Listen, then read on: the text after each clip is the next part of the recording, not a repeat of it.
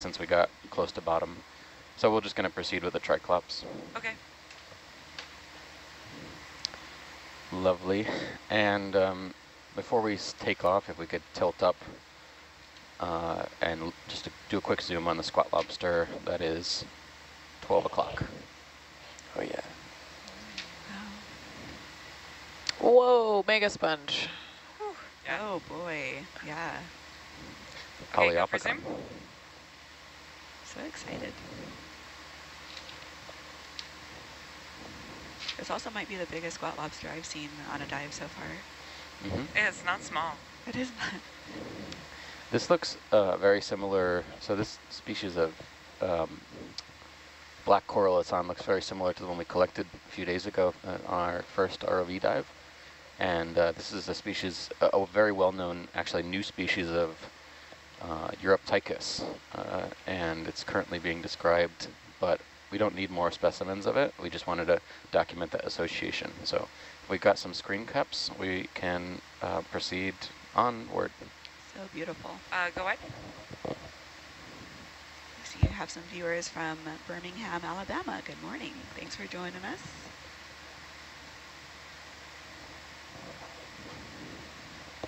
Steve, what is the name of the three pronged crinoids? Or are those corals? Three-pronged. Um, Maybe they're black corals. And they look like crinoids from a distance. the yellow ones? Uh, negative. Should be coming into view at the top of the frame. In Where are you looking? right there. Top What? mid left. This one? Yeah. No, left. Oh, yes, that's um, Umbellapathes. Ah, okay. Yeah. Coral. It's a part of a group that was, uh, or a species that was described recently um, from the capstone expeditions. Um, I think it was called Umbellapathes litocrada. And uh, I believe Daniel was a co-author on the paper that described it. Oh, cool. Is it related to Umbellula? Uh, it is not. Oh, Only through its Latin. Uh, yeah. Yeah. They are related as far as the umbella goes. Okay. okay. Okay, um, so everything's sort of stabilized with the vehicles. They're just hanging out here. We can fly around and look at stuff, Yeah. or we can keep going. Yeah, let's uh, let's scan in the area that we are um, up off the bottom, and uh, we are ahead of schedule, I think. Um, but of course, there'll be a lot to see as we move up. So Nick, how would you describe this rock formation? Is this, or this area? So uh, I would say that this is mostly um, pillow lavas, um, very large pillow lavas. A little bit of a brittle, brittle uh, deformation, maybe.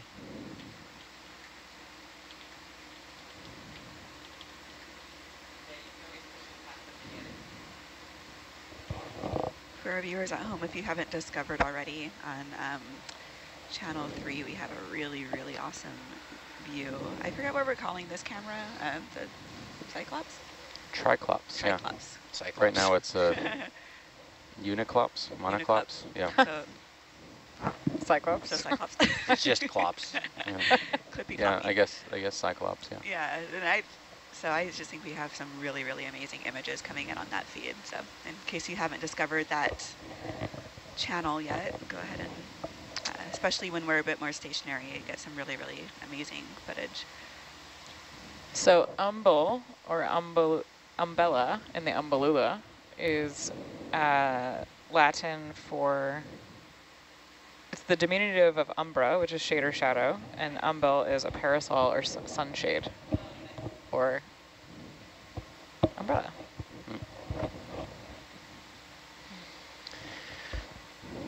Very nice, very nice photos. There is a tremendous diversity here, and we could probably spend all day looking at this rock. Um,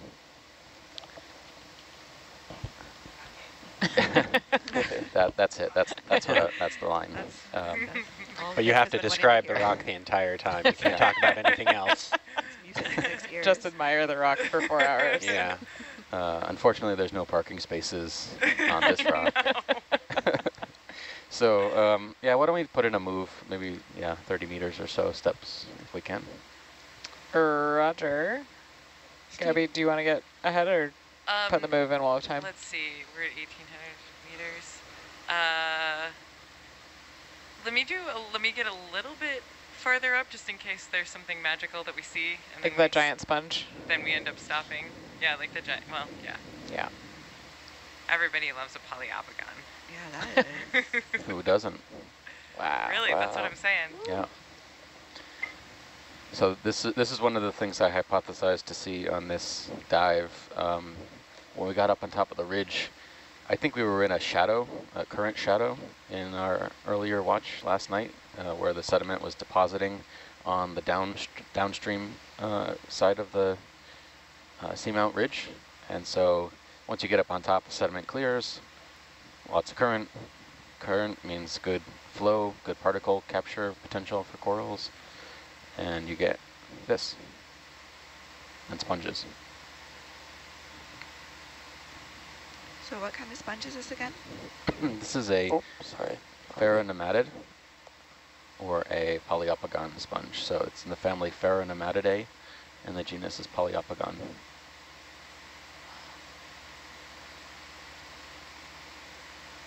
Some people in the chat are referring to it as a professional sponge. That's, I guess, a nod to the Yeah, 8 to 12 crew. Very professional indeed. this might be the most professional I've seen. What qualifies a sponge as a pro? I was going to say, yeah. I would like to know. Yeah. I haven't had it, that was not in the handover. can we do um, lasers off? We have a really nice shot in Triclops. Pew pew. Beautiful. No, no That's pew only the on. That's Oh, only the on okay, noise. sorry. Yeah, when they're Reverse retracted, it's... pew. yes. All right. Any? Uh, can you drift down a, l- tad, Yeah. a tad? Yeah, really nice. With the Iridogorgia, too. Yeah. Can you uh, uh, pirouette to the right? You have to pirouette though. You have to do it that way. Perfect. Yeah. Make sure you put those those manips over the top of your head when you pirouette. Do.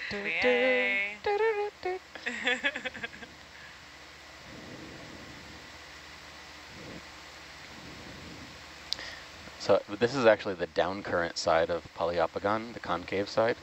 So that Oh. tells you. the current is actually coming directly from starboard right now, though. Really? Does it yeah, have... it looks like it's got another concave side. Yeah. It's expecting this. Oh yeah.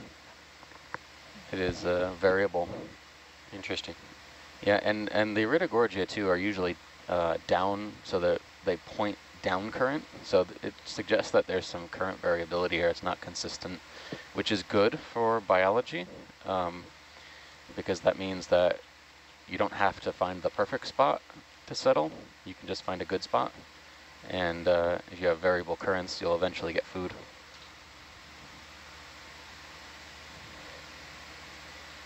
Yeah, cool. Yeah. All right. Okay. Great. Yeah, that Iridogorgia um, is in a very odd direction. Suggests that the current's coming from, you know, like, uh, let's see, where are we pointed right now? We're pointed uh, northwest. Yep, and I'm getting So um, a, downslope. uh, yeah current from 045 right now. Coincidentally, a lot of the sea fans, uh, you know, the traditional sea fan shapes uh, are perpendicular to the currents often.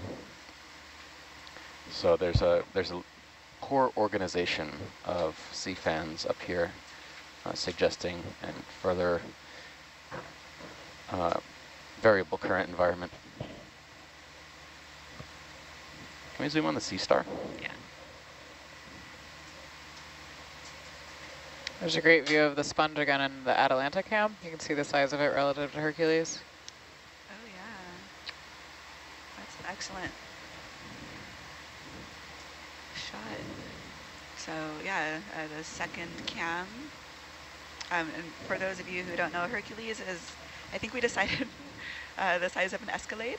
So uh, pretty large, and so you can get an idea of how humongous that sponge Go is. for zoom. This looks like could be a predation event. Uh, this looks like Hippasteria.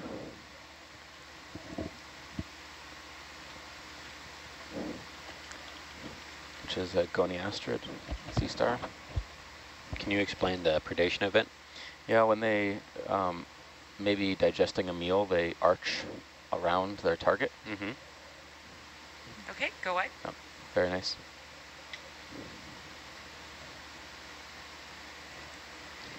So Steve, you were saying that there are different ways that sea stars feed, right? So this one Okay. is one Uh, that you come up just a bit? protrudes its stomach out around its prey and slowly digests it over the course of hours and hours. Yep. And then the other Uh, one, Years and years, probably. oh, excuse, Oh, wow. excuse me, years It's- and years. Things are slow here in the deep sea. Can you imagine being slowly eaten over the course of years? What critter eats over years and years? Sarlacc. What's that? Ah, What? What?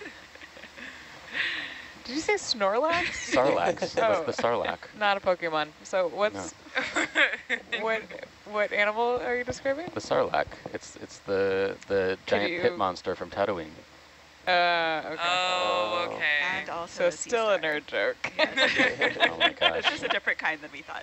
Can I change okay, what's our watches, direction please? of travel here? uh, well, our direction of travel will be uh, 110. Okay. One one zero. Got it. I am ready for that. Except the Sarlacc eats its prey on the order of 10,000 years or 1,000 years. Yeah. Thank you. Thank you, my fellow You want to in fellow a back row one one zero nerd. heading? But you know, if yes. you are human, you're not going to live that long anyway, so it's Bridge nav. essentially going to be, you know, 10 to 30 years Yeah. digestion. Good morning. Um, could we do a move 30 meters, 110 at 0.2 knots?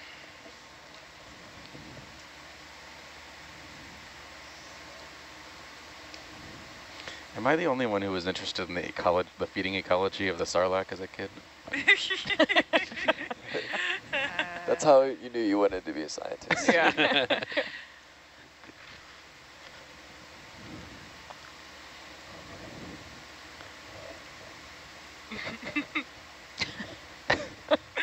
I was more interested story. In, I was more interested in the dunes surrounding Sarlacc, formations in Yeah. which it resides. Right. mhm. well, you know, Tatooine used to be a submarine planet, and then it became subaerial. Nice. Oh, Hey, too yo, you early. worked that one right in. That was great. I, I have such, of the like, I have a chessboard back here that I'm playing. It's so uh, far out. By yourself. One for the subaerial count for the ship. Yeah, we really do need the- to start a tally. All right. Beyond the bingo, I think Can- we need a timer. Can we settle on watch name as Sub-aerial. No. S- subaerial Steve. Subaerial squad. Oh, subaerial squad. This pains me. I tell you guys that this is the word that I can't stand. it becomes our group name. It sticks. That's true. It's just as Either bad that as or the smug science squad. Go for zoom. Who's pick? What was the other option, Brittany? Smug science. Smug science. science. Smug science squad.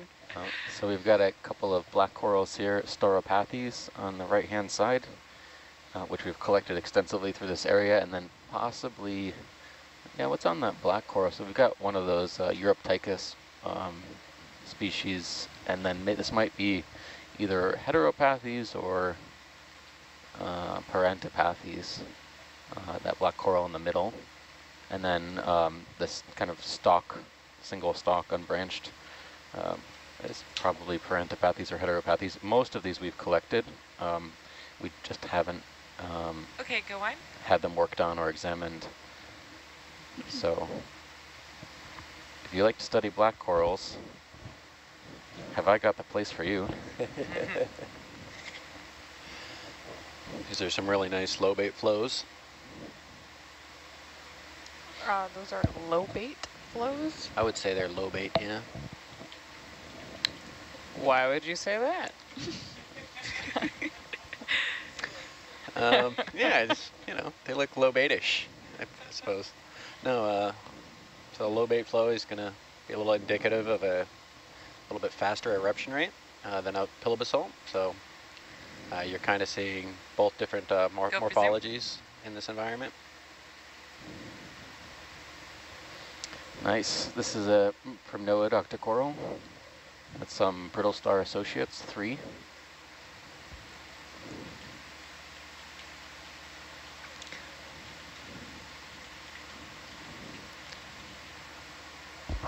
Tough to tell what this is. I think it's probably in the genus Narella, based on how it branches. Um,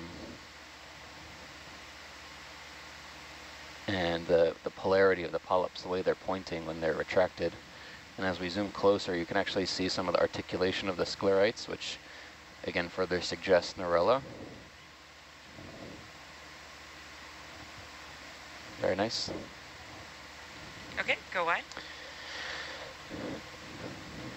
We have a lot of records of primnoids here, but um, a lot of the identifications um, really to species need to be made um, from collections, which we also have and have started to reconcile with the, the taxonomy of um, the taxonomy of the collections with the morphology of the seafloor observation. Some of these unbranched primnoids are almost certainly Narella hawaiiensis, which is an unbranched uh, primnoid and has relatively large polyps for its size. And also I've seen some species of, uh, so there's two similar looking species of Narella that have very low sparse branching, um, Hypsocalyx and, um, and Macrocalyx. And I've seen one morphology at this on dive so far that would uh, indicate can go either of those that. species. I don't know. It could just be a crinoid, but it looks like there's something else going on up there. Or are the crinoid arms just pointing at us? Oh, never mind. It's pointing right at us. Okay. Go for. Yeah, so these unbranched corals are probably hawaiiensis, uh, Narella hawaiiensis. Hmm. They're they're too the polyps are Cool. too dense to be Candidella imbricata, which is looking at? another Little species. pink Pink one? one? Oh yeah. Yeah, the pink one is uh, You can something interesting. in a little further. interesting.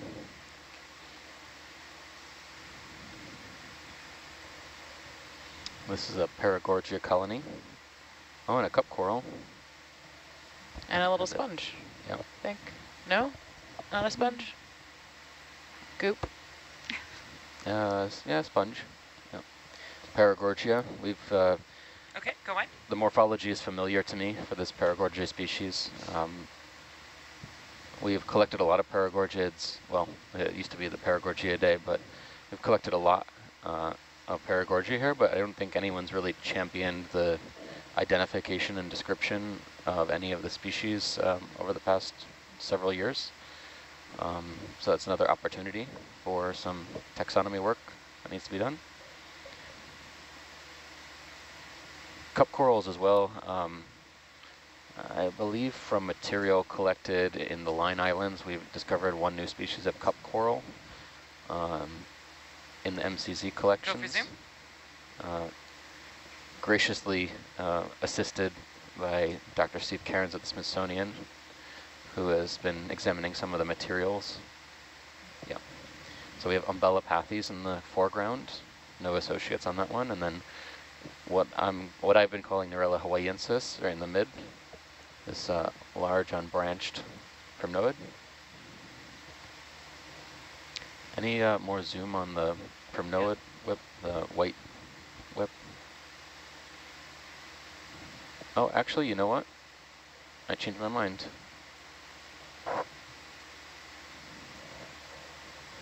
Is this the right one Yep. that I'm looking at? Yep.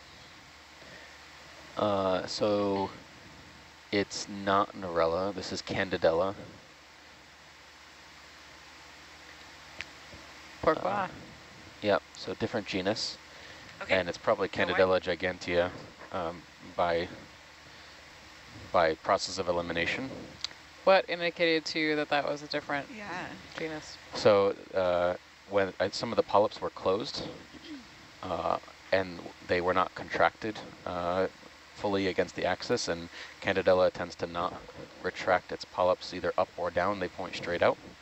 when the when uh, the polyps are retracted, and that tells us it's probably Candidella, and that's because the sclerite morphology and orientation doesn't allow it to articulate like the other genera. Although I, have I've seen some descriptions also. Oh, actually, this is new. What's up?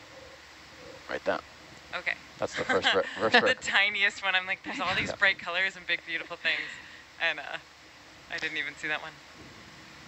It's a it's a curse to uh, yeah be able to pick out some of these things. It's like looking at the matrix. I tell people, like everyone else just sees numbers and letters, and I see yeah. Corals? Species of corals. Yeah. That's hilarious. There are worse things. I'll get that zoom set up for you in just a second.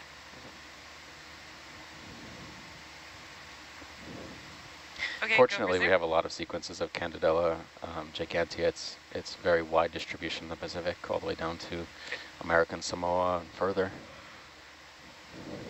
So this might be the first observation of the dive, but I can't be sure. It's the first observation of our watch of a family we have seldom seen um, on this expedition. Push in further. And one of my personal favorites. Okay. Which is the... Yeah. I'll let you know in a second once I confirm. Um, so I, I believe this is a Paramuricid. Um, a little further? And it's it's uh, it's a known species. It's well sampled, um, but we're just going to zoom to confirm. Yeah, it's a Paramuricid. Uh, so that's a, an octocoral uh, in the family Paramuriceidae. Um, probably in the genus Paramuricea, but it is something that we're that I'm working on right now to try and better resolve some of Are the, the species oh, uh, okay, and biogeographic okay. boundaries of this group. Uh, Data, do you have everything you need there? yep. Okay. So the ship has stopped. I think we have a little swing on at Atalanta, but... Okay. Um, science, do we want to keep this pace up? Yep, we can okay. keep moving. Great. Yeah, let's get another one in. Bridge now. Sparse branching bamboos, more poliopogon. Uh, another three zero meters, 110, please. You want to come up just a bit? Just because yeah. I'm right underneath you. Come on. Steve, to your knowledge, what is the rarest known coral? Like what coral would just make you just like lose your mind if you saw it right now? Go for zoom. Uh, corals that don't belong in their depth. Yeah, like really, really big range extensions. Uh, I'm interested in this over here when we're done with the sponge. Every time. now that you've lined up this shot perfectly, can we not do that? can you go wide? Can you no, go look at this tiny thing in the corner? Okay, oh, where are actually. we looking? What tiny thing the in the corkscrew, corner? Red, red corkscrew. Okay, gotcha. He helix. That's that's pretty cool looking. It's just a little smaller. so Gets Gabby's approval. it was a great zoom, though. Thanks. Yeah, thanks. The zooms are back for the watch, I think. yeah? yeah, they are. Yeah, we got so. the zoomies. I think so. We're back. I uh, I think we should revive uh, putting some coins in the zoom bank. Yeah, I like that. Yeah. Um, the it's a shorter tether, so like you can get fewer coins in there. But yeah, I like oh. that. I think we were probably running a much longer tether. We could get like way out ahead. So how do you uh, justify which tether to use for which ops? Um, me personally, it's whichever one's on the vehicle. Right. Um, but in general, uh, we have often used like the shorter tethers when the views from the sled are valuable because uh, you can get nice and close. Uh, can you go for zoom?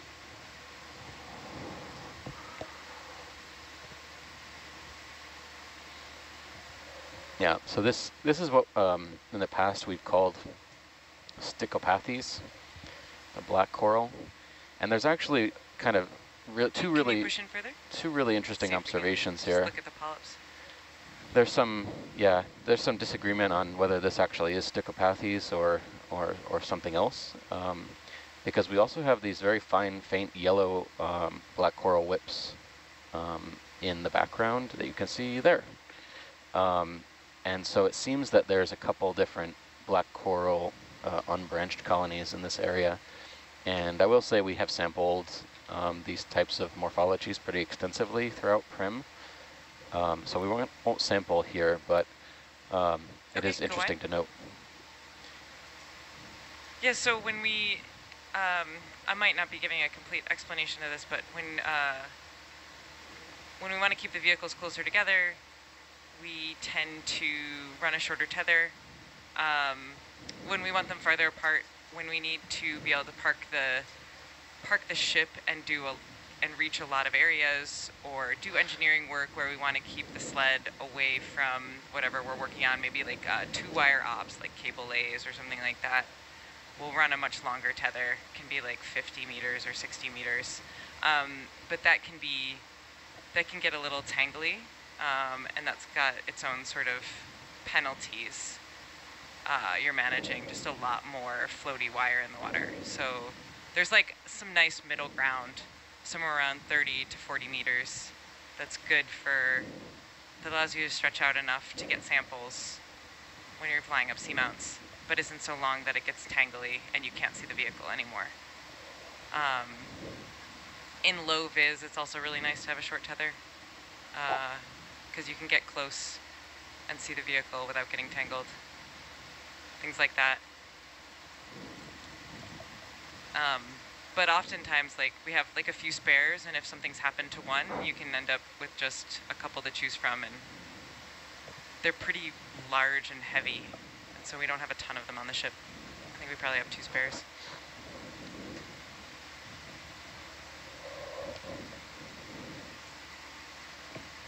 We've got 10 meters left on that move. Um, uh, sorry, can we back up like just a, a, a meter or half a meter? A meter? Okay.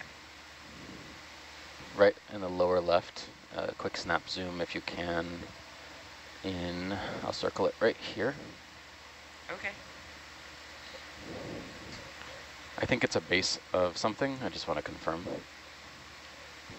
That, that circle Go on the rock. zoom.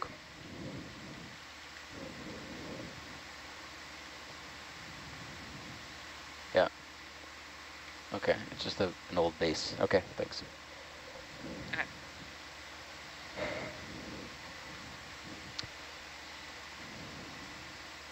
Even now it throws me off to see somebody in the windshield. I know, I was supposed to say As Bobby T- Argus is Yeah, TJ's wandering around down there and I'm like, ah. Uh, okay, do we want to keep moving here? Uh, Roger, uh, there's an I-4. There's a bamboo coral clade I-4. I think it's the first one that we've seen. ROV good to move? Yeah. Bridge nav. So we're, we're just going to zoom on this one, but it's a, a new new clade of bamboo corals that I don't think we've We seen can on add this another dive three so zero far. meters to 110.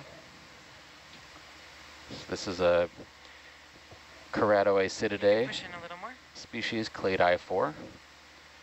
Um, and normally we would call uh, genera in this family Isidella, um, but this one, I don't think it, it's formally been named as such, uh, since there's a lot of diversity within the clade.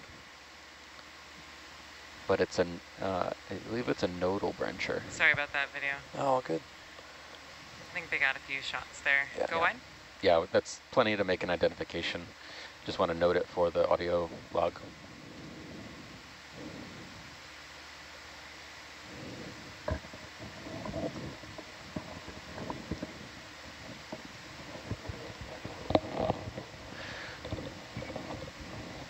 Sea cucumber at uh, six o'clock.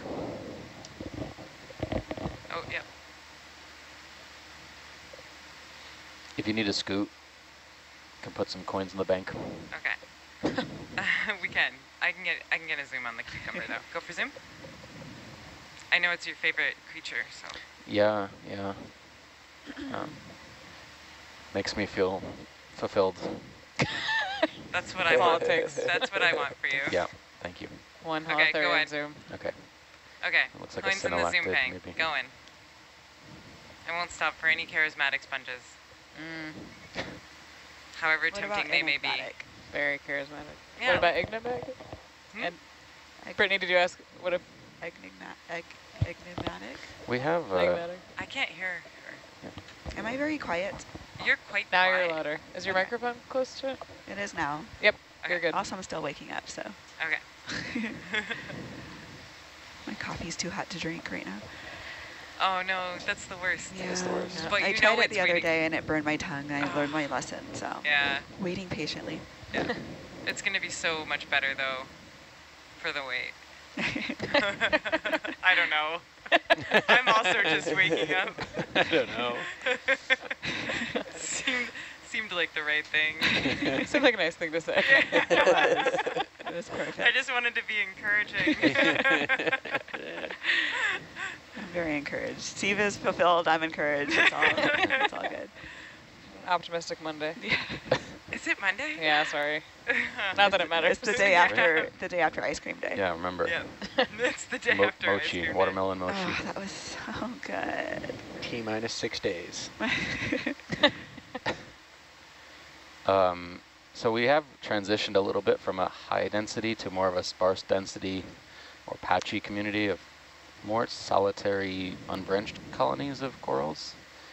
Um, so some something's happened. Maybe we've um, geology lead Rob have has uh, I indicated that there might be some uh, up and down slopes in this or areas that are not as intense uh, slopes there, Go so there might be you know, some small deviations in slope which might affect feeding capabilities of substrate um, attached fauna. Steve, do we want to try like zigzagging a little bit to see if we can find? Uh, yeah, yeah, A we're, ridge. we're we're getting up. Um, I mean, yeah, we we can we can we don't have to zigzag. We can just kind of go up slope in the direction Okay. of Okay, the ridge. go wide. yeah. I think it's go it veers off to the north. Ish. Northeast-ish. Oh, I see what you mean. Yeah. Yeah, so I'm looking down slope right now. It's more some more predation event right now. Uh, oh yeah. Yeah, it looks like upslope is to Years to north years. to me. Go for zoom.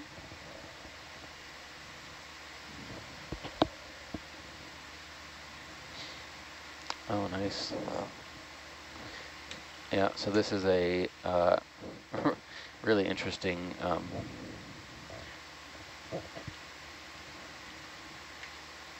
so this is a Hippasteria uh, sea star predating on one of these unbranched corals. Um, Okay, go ahead. now I'm not so Yeah, sure if it's, uh, that one looks more like Narella. Um, very tough to tell. Some, So what do we these got in unbranched- move-wise here?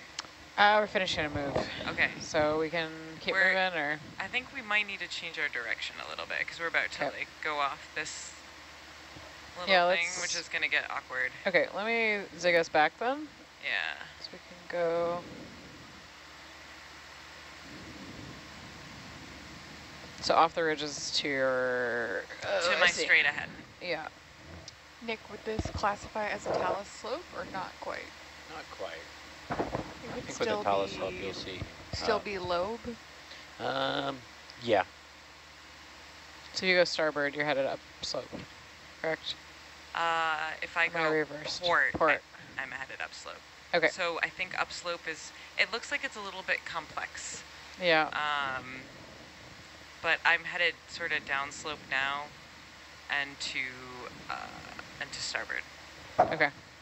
Uh, Steve. Mm -hmm. So, yeah, it looks like starboard we start to fall off here on the way to waypoint four. Yep. Um, so this south end of high pack Yep. screen. Um, so do we want to kind of continue this way even if we miss the waypoint? Yeah, Raj. Okay. Rock. Rock, rock. Uh, cool. Let's do...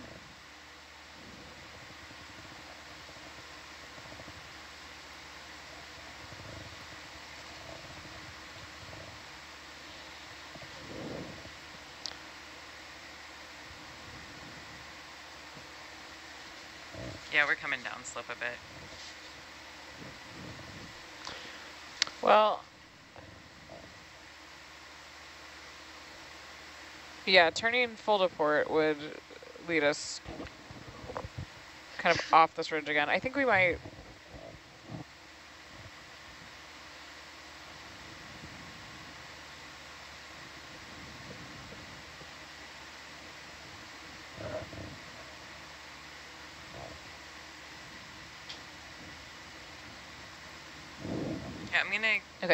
think if I, so I'm gonna turn to face up slope here because it's just too awkward to fly it straight down and see anything.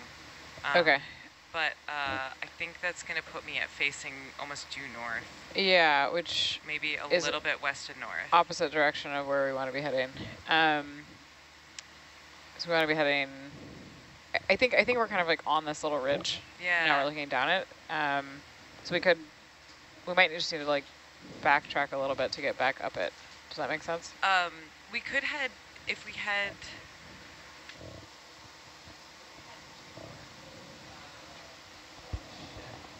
Due north takes us in the opposite direction of where we want to head with our waypoints.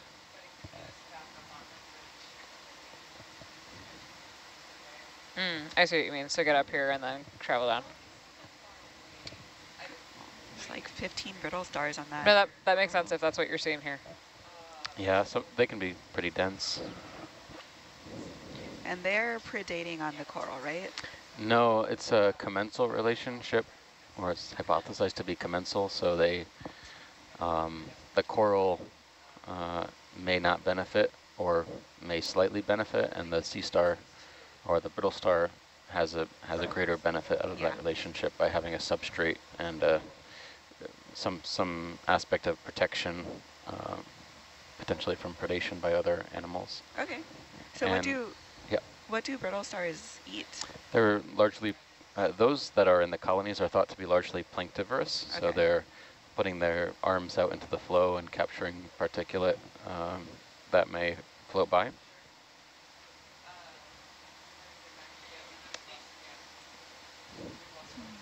There's a lot of different, uh, there's actually several several different families that are associated with uh, with um, corals. So there may be different, slightly different variations on that theme.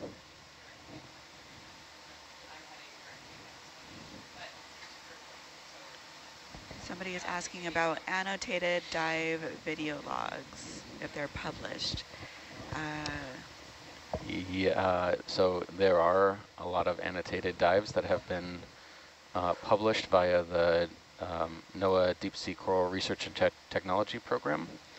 Um, so if you go to their webpage, they have a really nice mapping tool that you can search um, Nautilus cruises that have been annotated, and it'll give you um, geolocated data for species and genera of corals that were observed along a dive.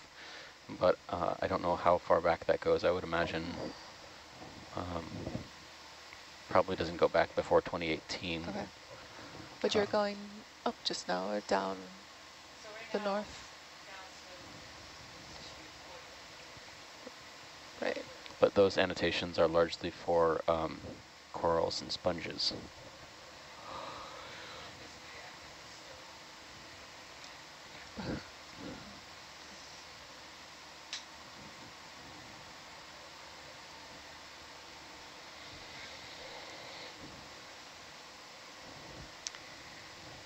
sorry, we haven't found any rocks for you yet, Nick. You doing okay over there? If you insist, we can always pick up another rock. I mean, I'm just, I'm feeling for you. Just making sure you're not getting the shakes.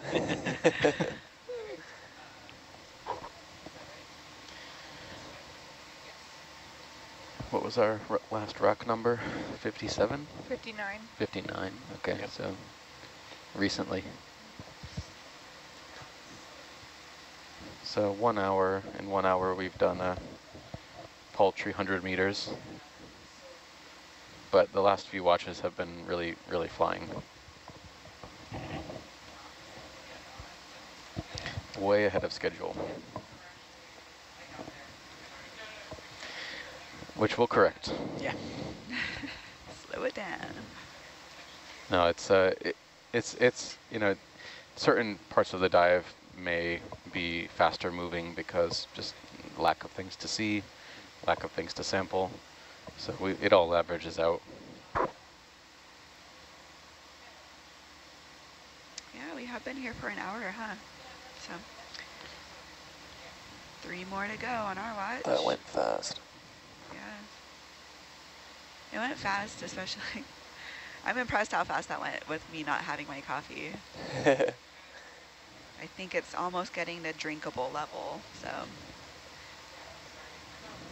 it's gonna be good when that happens. You got to add a couple of ice cubes next time. I know, I keep forgetting to do that. I didn't add ice cubes, I didn't add sugar. Yes. Um, I think you can describe this as a talus slope, yeah. A lot of loose debris here. Might be something worth picking. Yeah. Uh, science, was that an interest in a rock? Yep. From here? Uh, yeah, I think we might be able to poke around if that works for you. Say again? I think that might be uh, a good thing if that works for you. Yeah, I think so. Should I pause this move? Yeah. Bridge, Nav. We can hold position here.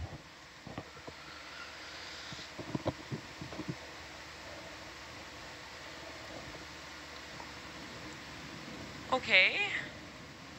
All right, looking around, see what we have. See a lot of rocks. They don't look very loose though. Looks like these are all connected right now. It's all pretty encrusted here. Yep. So this is probably the north side of the ridge, I would guess. Kind of hopped over the top, and it, it's interesting to see the difference. It seems like Yeah. on the downside, uh, down current side of the ridge, it was more crumbly. Okay, so we're on the we're on the high current side. Uh, yeah, uh, up relatively. I, I mean, from what we expected, Oh, you wow, know, the models say. Drop off. Yeah. I'm just gonna put the turn in the correct direction here.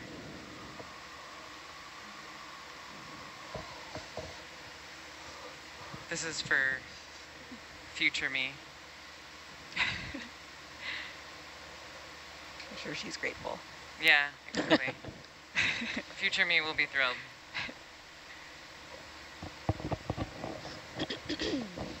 Oh, What's nice up? sponge. No, I'm just Oh, admiring okay. the sponge. Sorry. Should be more descriptive in my oohs and Your ahs. Like, I, I, exclamations. yeah. Was I not allowed to clear my throat? Is that a problem? no, sorry, you're absolutely allowed to clear your throat. Thank you. I'd also like to reset DVL when you have a yeah, absolutely, go for it. moment. That's also a cool sponge.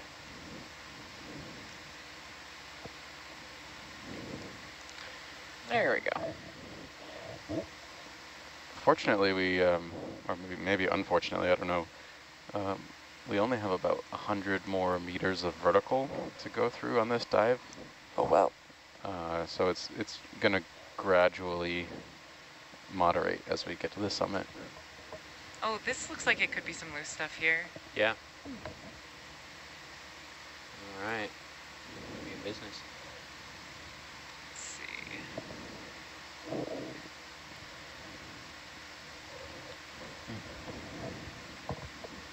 Is this loose? Uh, Wait, the giant rock? No, just like this this smaller part. Oh, I guess that's still a giant rock. Yeah, you're right. it's, it's a giant rock on a big how rock. about, I think I see it, oh, hmm, Yeah, no, go by all means. uh, it's hard telling. Potentially a lot of, Center bottom there, like a slightly different surface, quite large, this one? very, very large. That's pretty large. Yeah. right? Yeah. yeah. Go for it. It looks very crusty here.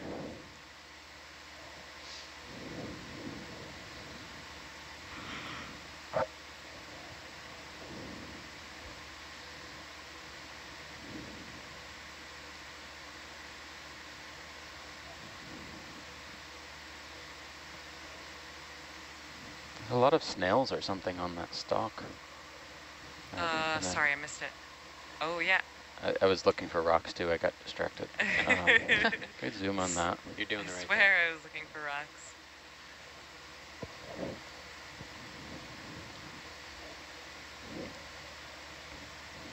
Go for zoom.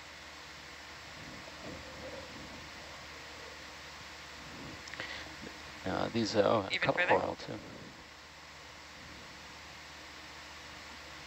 Yeah, a couple of maybe barnacles, squat lobster. It's a lot of life for a dead spot, sto- bleh, a dead sponge stock. Yeah, and uh, anemones too. Maybe colonial anemones up top. Interesting. Mm. Okay, Yeah. go wide. Crinoids.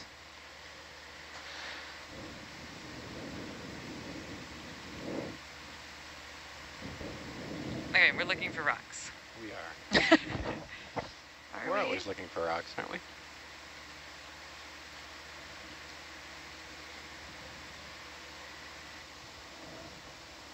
Some heavily crusted lobes. Not sure if we'll find anything loose, but if you see anything up there that I'm not seeing, then by all means go ahead and poke around.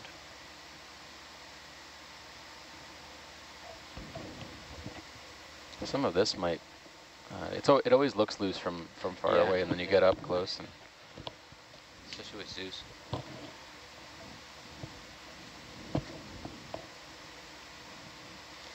I've definitely been on ROV dives before on Nautilus and other ships where you just it's, everything is cement.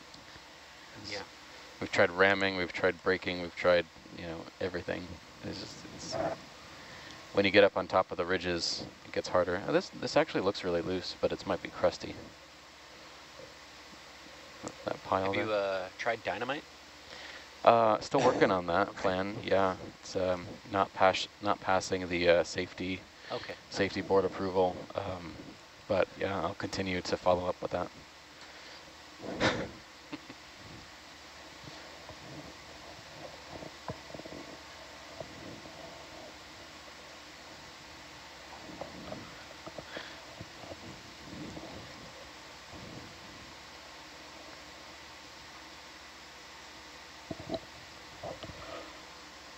See a lot of botryoidal texture on these ferromanganese crusts.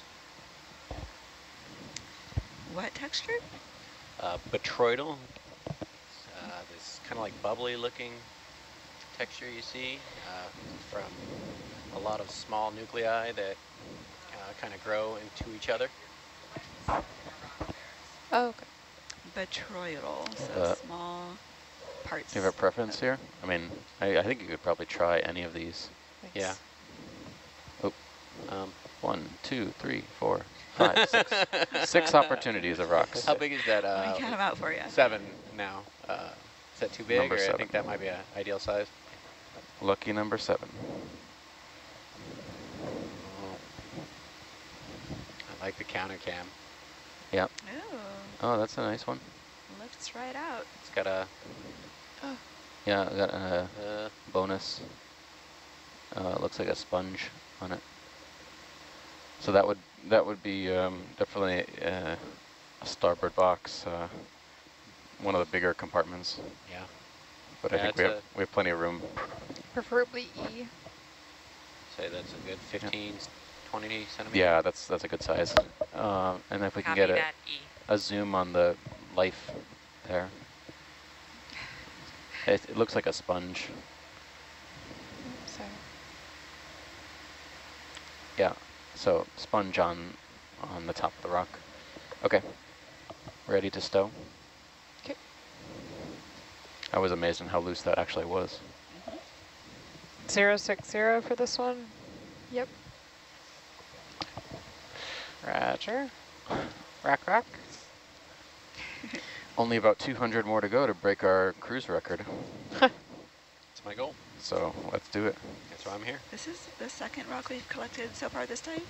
Uh, Yep. and Yeah, we had the flatter one early. Yeah, earlier. I'm making up for the first watch where we didn't collect any. All right.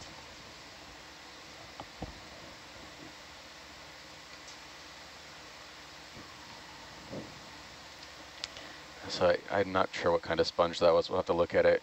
Um, it's probably a glass sponge, but there might be an ophiuroid associate on the inside of it too.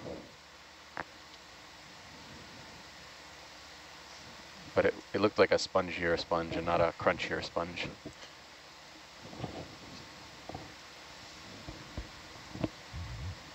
Sorry, so E? Yeah, I, that that rock that's already in there looks pretty big. Uh, I, I think we should be able to get it in there. I think we can call that a uh, sub-rounded rock. Sub-rounded. Okay. Perfect. Looks like I might need a little tap, maybe. Sub-rounded, yeah, that's, Sub-rounded, that's ac yeah. actual term. As is subangular. it, it is, no, I know. Okay, so explain. I know where we want to go with that, but uh, no, it is a it is a term. It's um, you know, you have a classification of uh, uh, weathering uh, based off of shape. You know, uh, so I think that thing's gonna get uh, like a rounded off. rock will be considered Yeah. very weathered. Um, if you look at you know like quartz grains Yeah. or sand grains, You can close the they're box. they're they are round. Okay. They're We can see if they've been reworked by uh, No, water it's erosion. okay, you Uh, can close science? it. Uh, tumbled. Are you okay with closing uh, it on this sponge? Yep. Okay. Do you want to start kind of and, you inching know, it in, like more and see if I angular, need to you're going to tap it down more? uh, uh, less weathering. So you know you have this whole spectrum basically between angular and rounded, and kind of in between there you have subangular and subrounded, Wow. and that can happen in the submarine environment or Don't say it. okay. Beauty. Right there. Love it. Cool, thanks. Even Steve's had enough. All right. I, I appreciate a good one, but I think it was just a little bit not where it's going. overused. Says the person. hey, you know, Very you gotta slip it in when people are least expecting, and that's that's when it's funny. They want to force it. It's got to be subtle. Still funny. so funny.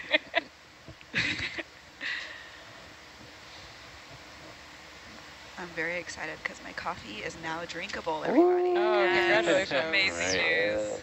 Keep us apprised of how that goes. Put it in Sealog. Yeah. Write that down.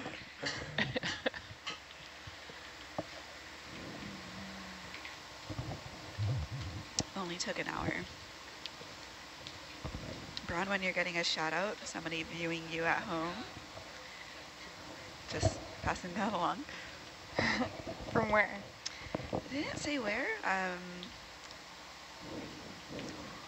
it says, I am Bronwyn's 93-year-old. Was that your? Oh my gosh, it's my 93-year-old grandma. That's what I wanted. Yeah, I thought so. Yeah, so Hi, grandma. watching. That's awesome. He's like, I'm not getting anything done. I'm just watching you. Lean left and you're on camera, Bronwyn. What was that? I said lean left and you'll be on camera, Bronwyn. there you go. The other way in front of you. Did we uh, have the sponge included with that last rock sample? Right. Yes. Okay. Okay, science. Uh, the ship stopped, obviously. Anything else we want to do here? No, I think, uh, right, we Yep. can continue on, uh, kind of reacquire the ridge spine.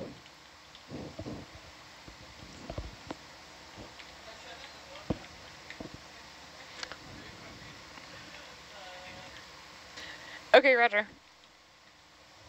Uh, RV ready to move? All right. Bridge, nav. Uh, we can do another 30 meters, a 140, please. We'll see how that works.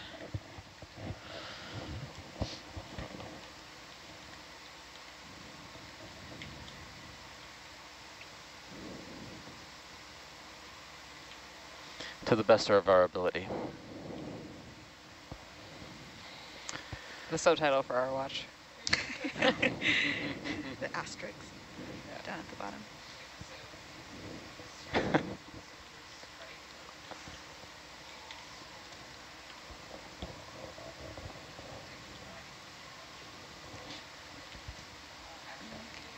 So did I hear earlier that we're kind of towards the top of the seamount at this point? Yeah, we're within 100 meters vertical of the summit. Okay. Um, so the slope does gradually moderate here, although it looks pretty extreme where we are right now. And uh, we should just be cresting the top of the seamount with, uh, let's see, what kind of time do we have left? We have probably about eight, eight to eight to 10 hours, somewhere in there of bottom time left. Planning to be off bottom by uh, probably no later than 1.30 or 2-ish, but we'll get a revised uh, revised count when it gets closer to the time. Yeah. So we started off at uh, just over 2,900 meters deep, and we have been making our way up this summit. And as Steve just said, we're about 100 meters from the top of it. So our current uh, our current depth is 1,814 meters. And the temperature, in case anybody was wondering, Yeah. is a whopping, yeah, a whopping 2.5 degrees Oh, Celsius. it's warmed So up. Balmy. It has Wow, warmed toasty. up a bit. Still not not warm enough for me to go diving in that, but If you want to experience what it feels like, uh, Go stick your hand in the bio box after the dive. okay, I'll I'll check that out. It's it, it's refreshing after you've been on the hot deck, though. I'm sure. Yeah. You push in further?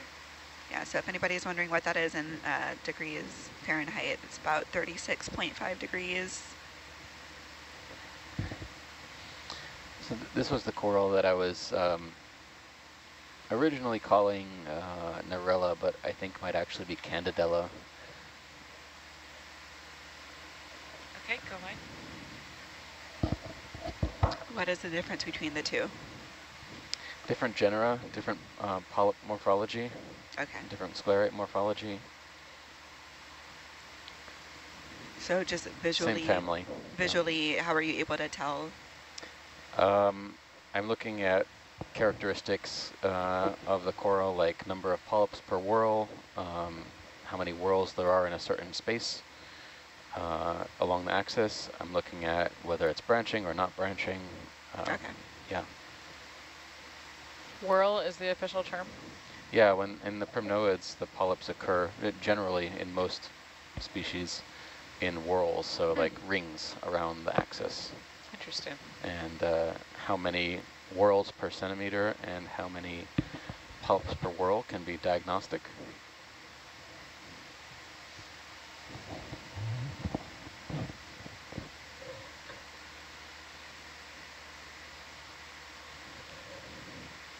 But of course, um, this is where uh, future me says Go for zoom. uh, you should have collected that thing past Steve because uh, when you're looking at the video later and you realize, oh, I don't know what that thing is. Oh, that's nice. There's a lot of time travel going on in this. Yeah, this watch. I, I really You like the future further. me analogy. Yeah. Yeah. I try and do right by future me, but Yeah. it doesn't always work. So this is um, a colony of Paragorgia, a uh, coralliid coral, according to the recent revision, with a uh, zoanthid and Asteroschemat. Well, it used to be called Asteroschematidae. Now it's called the Euryalid family of ophiuroid brittle stars. So the the larger, kind of more opaque brown polyps are Go a zoantharian, uh, a type of hexacoral, relatives of the stony corals, and the octocoral is the pink part. Two different groups of corals.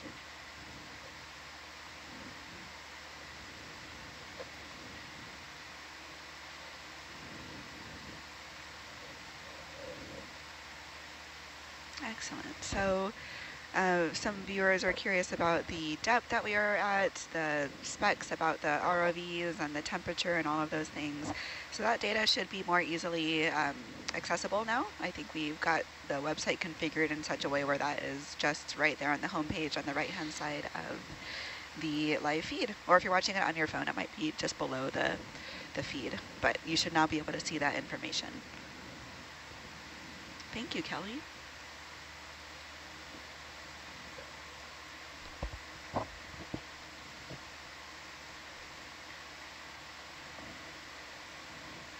Oh, is that R. Kelly? That's our Kelly. Oh, hi, Kelly. Uh, Not Our our Kelly, not our Kelly. I was going to say, wow, we Our. moved up in the world. Our Kelly. I hope so. Different Kelly. Different Kelly. Different our Kelly.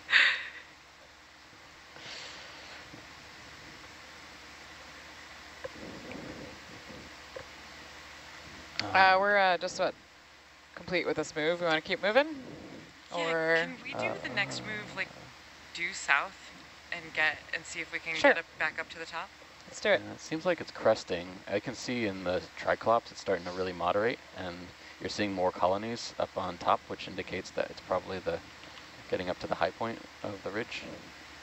So we're pretty close. Oh, eh, do you want to keep going in exactly as we're going then? Uh, no, I, I, I think I leave it up to you. I'm just pointing out from the triclops, which has a lower, you know, more outward-facing view, that it looks like it's flattening out Mm. very, Okay, very let soon. me yeah, let me see. Let me look up a bit. Triclop strikes again. It's a very helpful camera. Oh, the top might just be right there. Oh, Yeah. found it.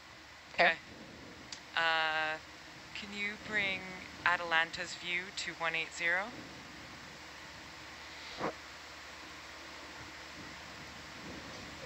Come down.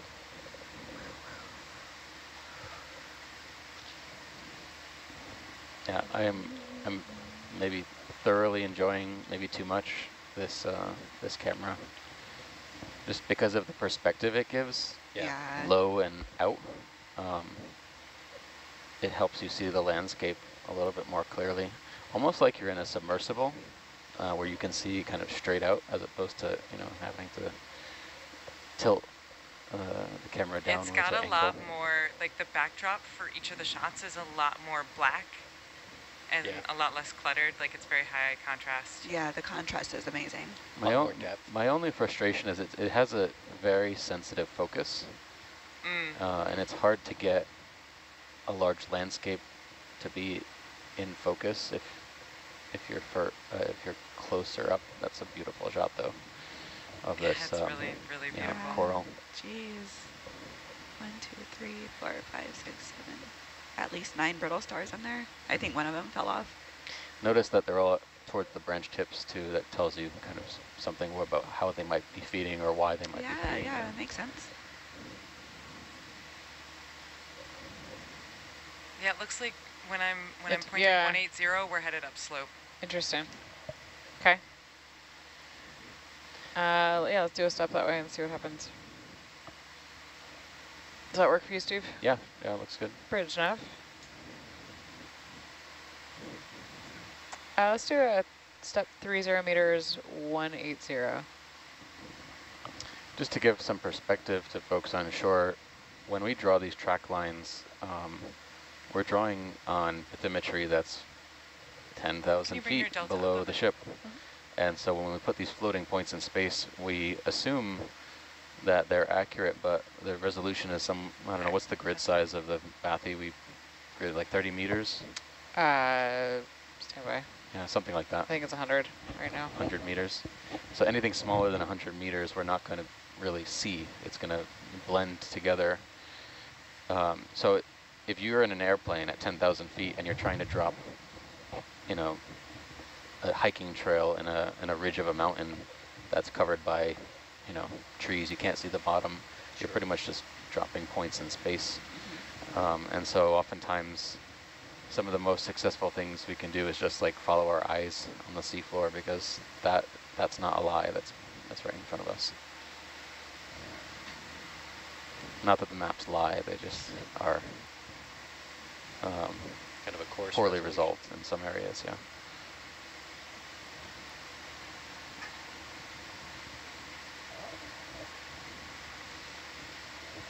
Kind of like um, how they describe uh, models, uh, you know, like models of systems, complex systems.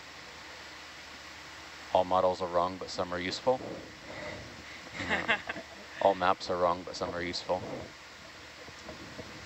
depending on your resolution. Although I'm very impressed by some of the work I saw uh, last month, or well, I guess it two months ago, um, by uh, some postdocs uh, actually at, at that were doing some really high resolution maps of Davidson Seamount and uh, areas around there.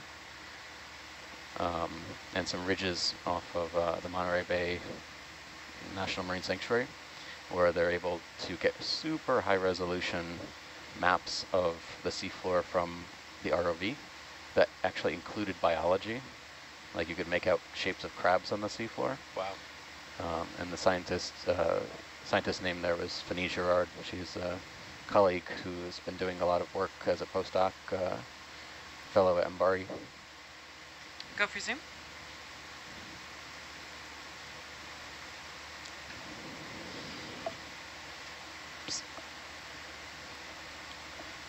Uh, looks like a zoanthid.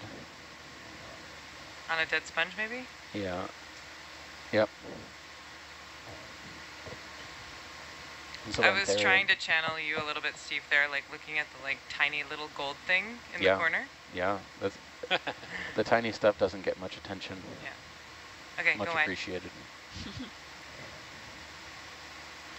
I feel like uh, the deep sea deserves an episode of Tiny World. Family favorite back home. Um, so that in front in this glass sponge here, that's a Caulophacus Go for uh, zoom. sponge. Very, very small. Normally they're much bigger.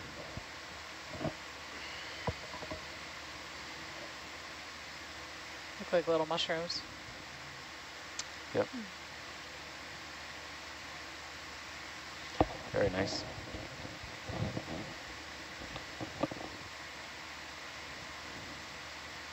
Think there's a larger one uh, in the background. Yeah. Go ahead. I can see the base of it and still can, yeah. So A couple of that's them. probably the, there's a, oh, no, not number eight. Are those the same species Large or are one. those? I think they're the same. Yeah, they might be just kind of like a series, um, you know, of settlement events. Huh. They remind me of dandelions. Yeah.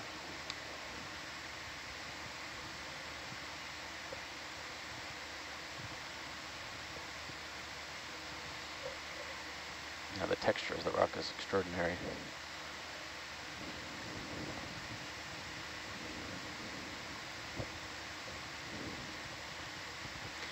One of the things I like to Go keep an eye out for uh, at these sites are, are trails. If you see trails in the in the rock, uh, especially on these in even botryoidal further. rocks, you can see where animals that might be um, scraping the rock for sediments, uh, like um, uh, monoplacophorans or chitons sometimes leave, the, leave these trails. there you trails. go. Nice. Yeah. So that looks like Caulophacus. Okay, go on. What is that on the left side of this, like on the sponge on the left side? Like a crinoid, Uh, maybe? yeah, Crinoid, crinoid, yeah, yeah. okay.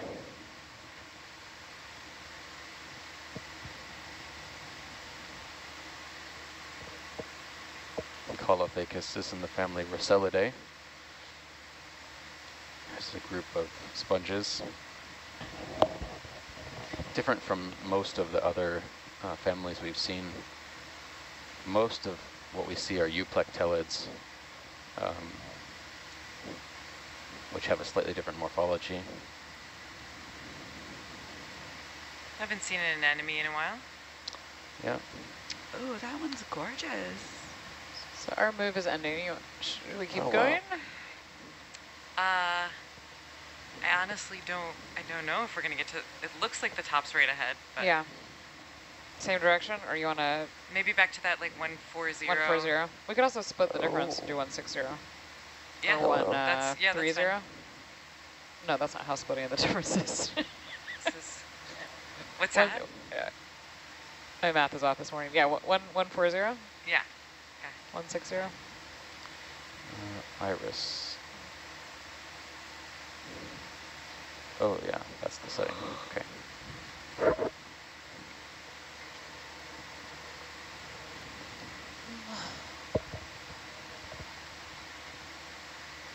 I think that's the biggest anemone I've seen. Um, okay, go on. On Or maybe you already are. Or- I'm already, uh, I'm I'm already wide. We're just real close. close. You just got a beautiful shot. Bridge nav. Maybe we'll give it a little space. Uh, three zero meters, one four zero.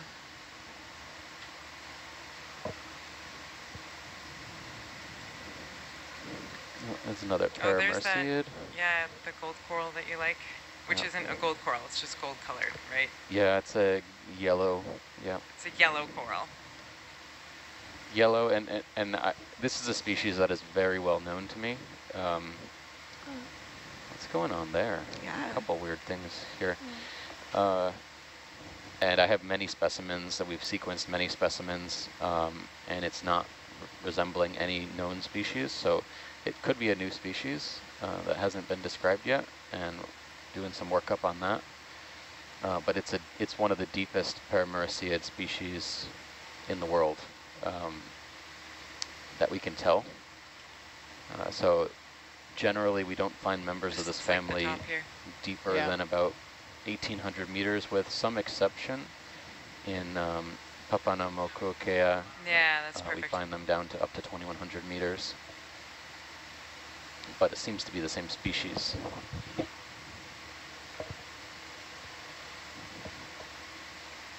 Can we uh, put a, um, drop a target on kind of like where the ridge crest was and like breadcrumbs as we go up? Or we're thinking this is the top of the ridge. Okay. Yeah, that, yeah.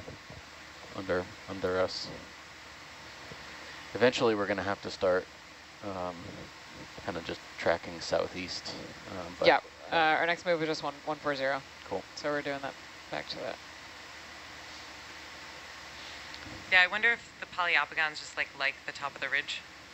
Yeah, it's definitely a flow condition. Um, yeah, variable that se they're selecting for when they choose their substrate location.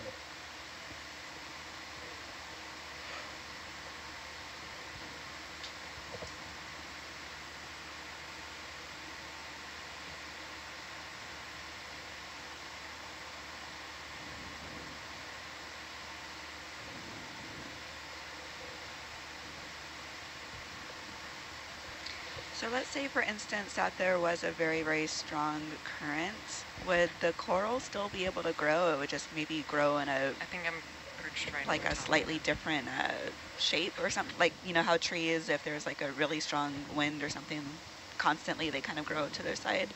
It's pretty much exactly Yeah, like that. Okay. Um, yeah, and you can see that in some of the unbranched colonies, um, which kind of grow with the flow. Uh, uh, totally, totally uh, did not plan that one. Um, it just happens. it just happens. Uh, but there are an, um, a number of colonies also that uh, you can determine kind of potential changes in variability with flow, and depending on which orientation they grow in first. So I think this is like this is like the ridge crest here. You got like Oh, wow. It goes down on both sides. So if we go straight southeast, which we are, um, that's pretty much going to put us on a path towards the summit. Um, there's something else I wanted to say, I forgot. Speaking Uh, of rocks. Rocks. Couldn't be that. we were talking about currents and how it shapes the coral and Right. Um, Rocks. just the subliminal rocks. very large Stichopathes up here. There's orange whips we, we zoomed on for. Oh, there's a juvenile Metallogorgia, which is a species that we haven't often seen. What does it mean to be a juvenile coral? Uh, young. Okay. Yeah. So it's not doesn't have like a different morphology that then It- like changes. It has a slightly different morphology. So we've called this juvenile with massive air quotes um, Okay. because you know no one's really Go for looked at their development over you know, a small area over time. Yeah, I- I guess what's the difference between juvenile and small? Uh, juvenile would be uh, reproductively immature. But how can you tell? That's the question. Uh, that's that's the, that's why there's air quotes. Ah, right Yeah. Okay. But this is definitely Metallogorgia melanotrichos because it has this uh, very characteristic ophiuroid Ophiocreus oedipus, uh, which is only found on Metallogorgia melanotrichos worldwide. Okay, and so normally when this when this is a quote unquote mature colony, it will lose those um, ax like the axial branchlets, Aha. and it'll have the, the terminal tuft of polyps up on top like uh, Metallogorgia does. Interesting. And you can actually see the scars where they lose those branches. So that's why we've been able to infer that they just lose those branches over time. And interestingly, the yeah the ophiuroid will move up the colony to the top over over as it grows and develops. Such a such a really interesting relationship. Worldwide, we found the same species, the same coral.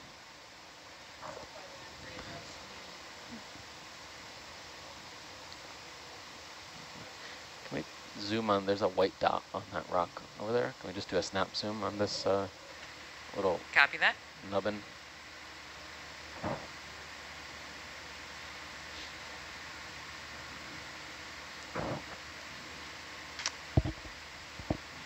Uh, our move's running out. Do we want to just keep moving up the ridge? Go for zoom. Uh, yeah, okay, thanks. Just wanted to Okay, confirm go on. something. Um, I'm okay to move up more. Ryder, ROV, moving? Uh, yeah, uh, do you want me to just suss out real quick, make sure it's still going to go 140? Yeah, that's us. Suss. Let's suss. Shall we suss? Please, after you. no, no, after you. Fire leave.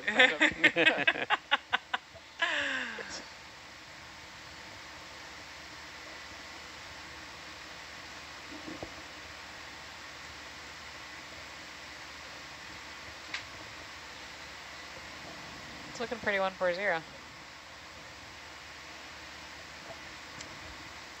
Yeah. I like it for 140. Great. 140 it is. Bridge now.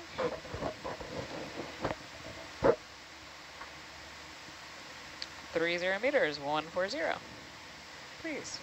Thank you. So this is the top of the seamount Oh, at this uh, point, or do we still have a little bit more to go? There's the adult version of Metallogorgia. Oh, There- There'll be more. there, there will be more, yeah. Okay.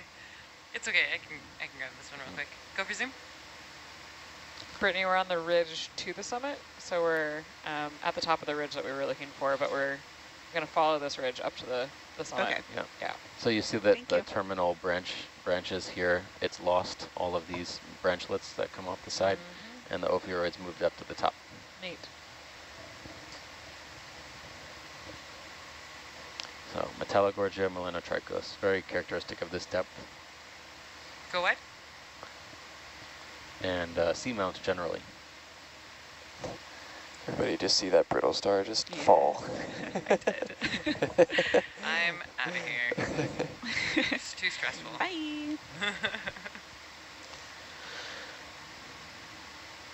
So, um, if any of our viewers are wondering, we do use lasers to measure the uh, rocks and animals that we're taking a look at while we're doing these dives. So those lasers are spaced 10 centimeters apart, just to give us an idea of how large or small um, what we're looking at is. What are we looking at over here, Steve? It's a poliopogon sponge. Big fan shape almost. Yeah, I think they have various axes of, you know, concavity. Mhm. That, uh, yeah, so it just might be the orientation.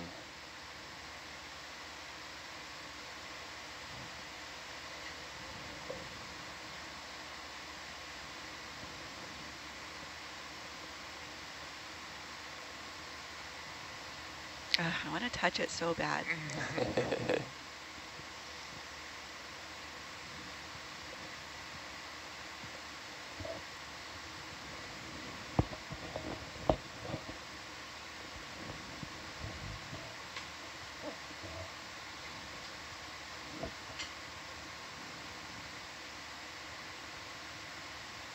Uh, what's this? Oh no, that's never mind.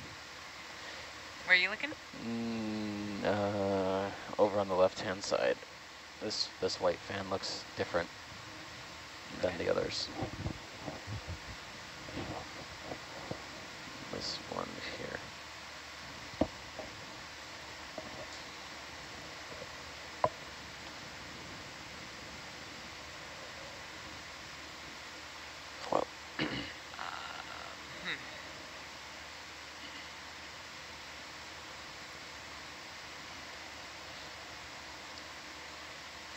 Stand by while I get a, a view of that.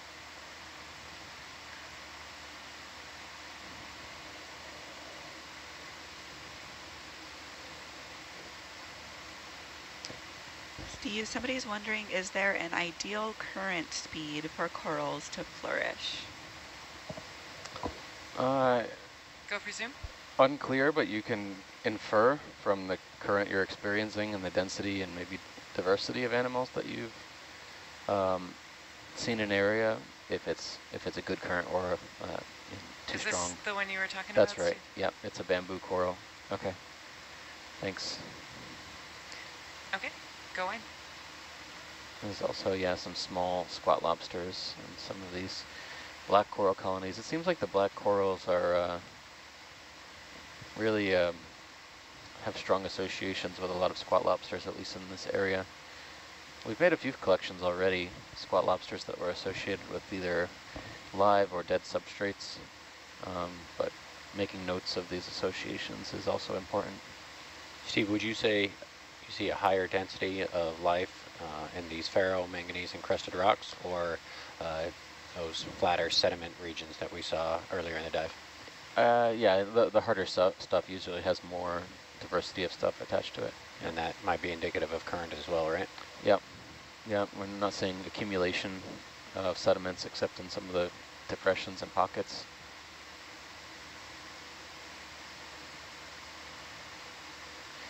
Can we um, zoom in just a touch to get the housing out of the frame of the Zeus? Uh, push in just a little Yep, yep, video. yep. Yeah, there you go. What's going on over here? Yeah, what is that? Uh, dead sponge. Okay to keep moving with another ship move? Uh, Um, I'm okay if science is okay. and I think so. Okay. I'm okay. Yep. Everyone's okay. I'm great. Bridge now. Uh, we can do another, another 30 meter is 140. There's just a tremendous amount of life on this ridge. Uh,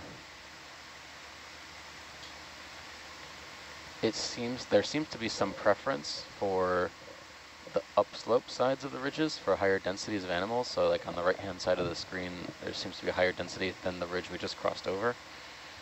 Um, oh, can we zoom? Uh, oh, there, there, quick, please. Or, well, yeah, may, we may want to sample actually. You may want to sample? Yeah, okay. maybe. Uh, let's hold it. Bridge now. This right here. Okay. Hold position.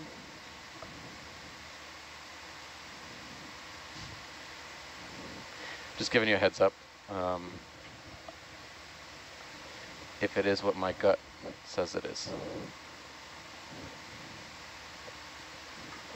Here. What does your gut say it is? Uh, hungry. Oh, okay. Oh my god. But, you know, uh, I, oh, I thought you meant, yeah, generally. Uh, no, the coral, uh, tells me it's a, it's a bamboo coral, but I'm interested in the associate relationships as well. So I see something on the coral that, that we haven't seen frequently this dive Dun, dun, or dun. this expedition. What do you think it is? I think it's a heteroptychus crab on a bamboo coral. That is So is is- this a compliant coral that we can probably get through the slurp? Uh, uh, I would go, I would box it Okay, uh, in the forward box, yeah. okay. We don't have any other bamboo corals in the forward box, right? Oh. It's No. like blows my mind how you were able to see Oh, that let's tiny get a- crab on there. a Let's get a rock. zoom on that. Yeah, we're, we're, let's get a zoom up and down the colony. We'll do some scanning before we um, pull the trigger on the collection. It's Yeah, So can we do a tight on that region?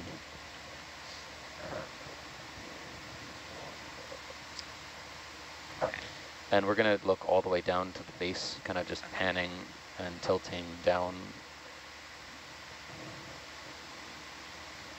Uh, yep, beautiful. And if we can zoom center up on that. Go for zoom further if you Oh, got wow. it. So yeah, these are Heteroptychus. This is a gen genus of crab that's Okay. um, that we have not often seen. so uh, Atalanta's still on the move, so we'll need to take this sample. Yep. Because we'll want to stow it before we start moving again. Great. Um, So so let's do it. the safest thing to do would be to cut it somewhere here, Okay. uh, you know, well below the crab, Okay. and it should not jump uh, Okay. if if handled uh, Let's do it. as best you can.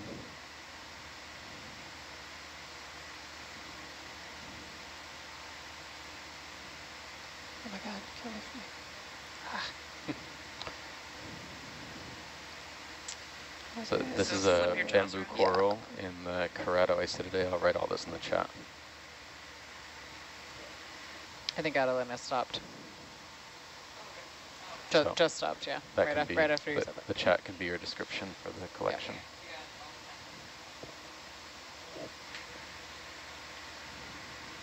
Yeah. Steve, we've got all the time in the world now. Atalanta settled out. Cool. I mean, That's a great spot to snip. Okay. And uh, yeah, all the time in the world till Good. 8 a.m. Yeah. so yeah. um, we, I think uh, forward, the forward box is going to be preferred because we've got precious cargo. So lambda, what do we have in lambda? Let me get Yeah. Uh, But it's going to get that coral mucusy. Uh, yeah, maybe. Um, let's go in lambda. Yeah, we can eh, we can differentiate them apart. We'll we'll wash them on deck if it does mucus. Not all black corals are mucousy, um, and just the same, not all bamboo corals are mucousy. It's just the propensity to lose the collection is the greater um, problem uh, for storing it on the starboard side than the mucus.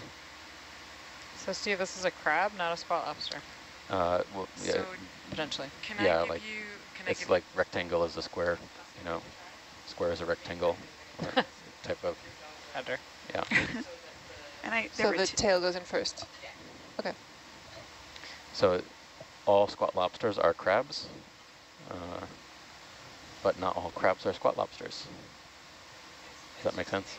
yes. Okay. Oh, that's a great idea. And there were two of them on the coral, right? There was one closer to the base as well. Yeah, we suspect that um, it might be a um, mating pair.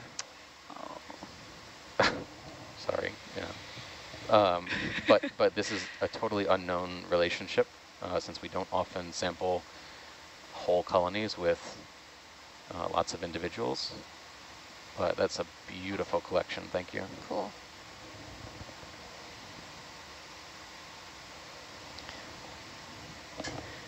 Most animals don't mucus when they're collected like this on the seafloor. Um, but like we were noticing the other day, when the box gets warm, they mucus. Why are you looking at me? well, you're, you're standing up. I'm, I, I have a captive audience. I was like, did I ask a question? Yeah. Tell me more. yeah. Would you like to hear about mucus? yeah. You piqued my interest. But that's amazing because that was one of our, um, yeah, uh, priority collections for symbioses. Nice. Uh, that was in the dive. yeah, that was a great, one. great snip. Yeah. And handling. Ended up in the box. Yeah, very nice. So like I was showing you um, the other day, sometimes squat lobsters can be very, have high fidelity to their coral, you know, meaning they, they won't leave it for anything. Um, and sometimes they will lose, uh, you know, just jump off like the ophiuroids. Yeah. Uh, yeah. Okay. Anything else here, science? Uh, I think we're ready to keep that move going on. Yeah. Keep Okay. on trucking. Uh, RV, do you want to get ahead with Herc or? Yeah. Let me know when you're ready.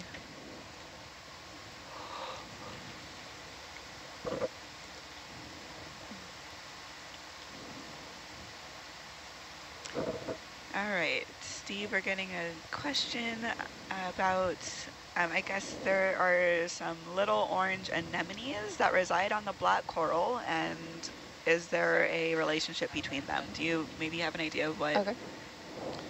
Uh, there are, yeah, there's a lot of relationships between anemones and, and corals. Um, I don't know if there's a lot of, I don't know if there's a lot known about the fidelity of certain uh, anemone species with black corals, uh, or if it's just like a generalist situation where they, uh, you know, will settle on any available substrate.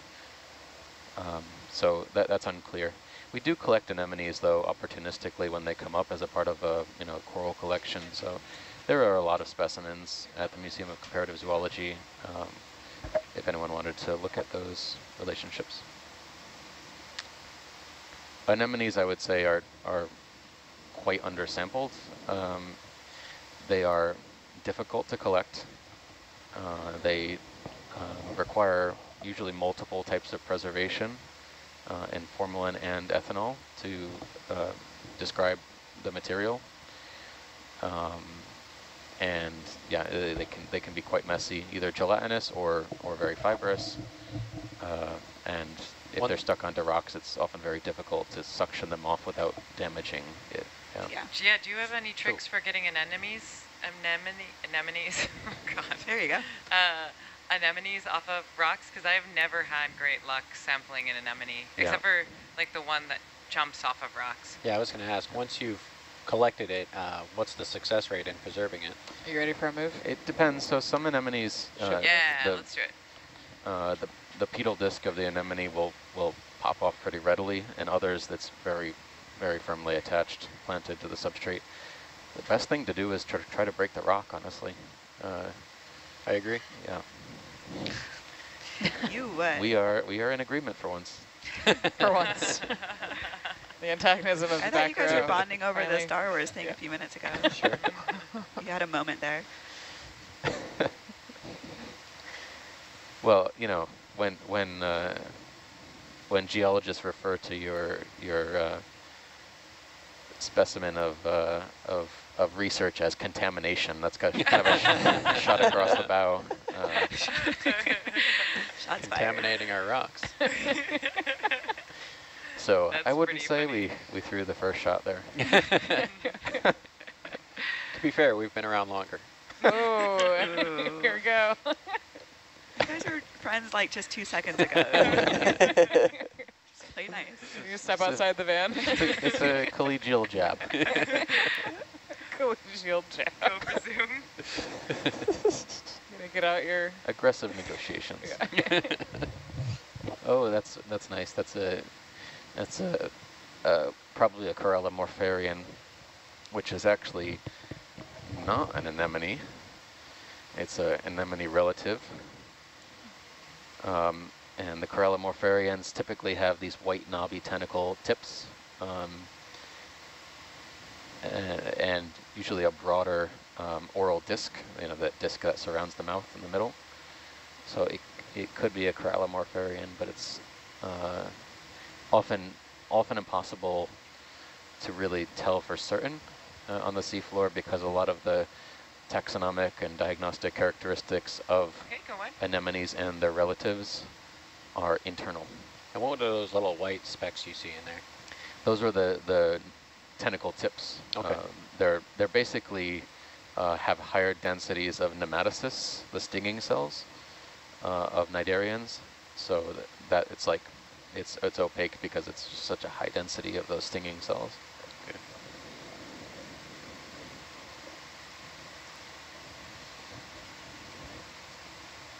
Looks like we've moved on to a pure sheet flow here.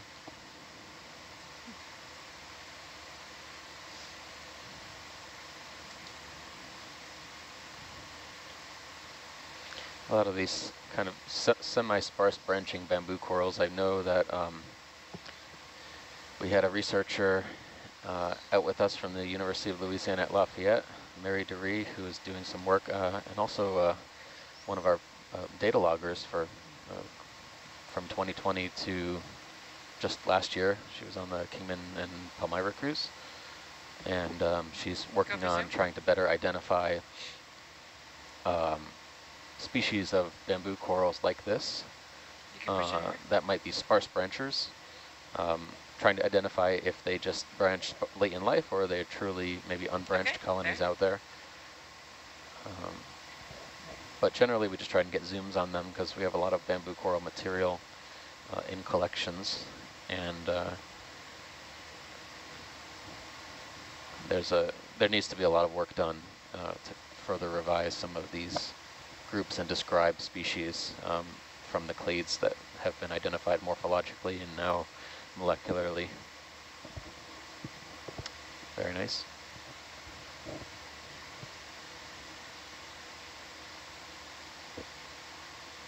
That was super great, Logan. Thanks.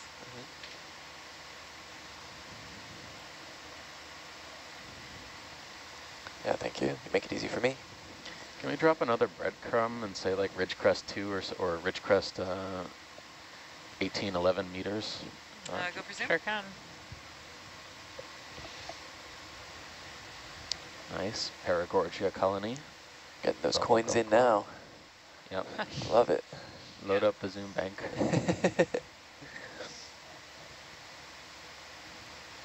So this is a Paragorgia colony. It's a typical relationship we see. Um, so th there's a bubblegum coral, the red coral, and then there's a, a, a zoanthid, a zoantharian associate. Um, in this case, it's probably a Bullagummizoanthus or something like that uh, species. Um, and in the past, we've called that relationship um, Paragorgia coralloides, uh, which is a species of, of bubblegum coral, but um, it's not always clear. What's going on there? Is that an associate, that red uh, star? Or is that a Let's find out. predation event? Not sure.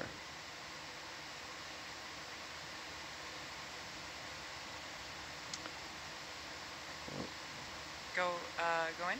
Zoom.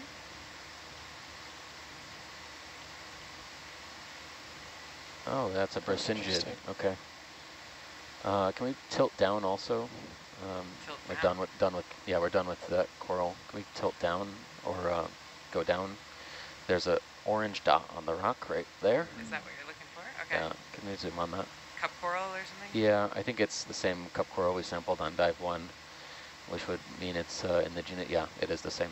Okay. How do you sample those? Uh, suction. Okay. Yep. Yeah, the. The one that was suctioned um, on the 8 to 12 watch on dive 1, or uh, yeah, the ROV dive 1 um, we did, was um, Vaughanella, a species that is known from the Prim, but has not been recorded in Johnston Atoll until this cruise.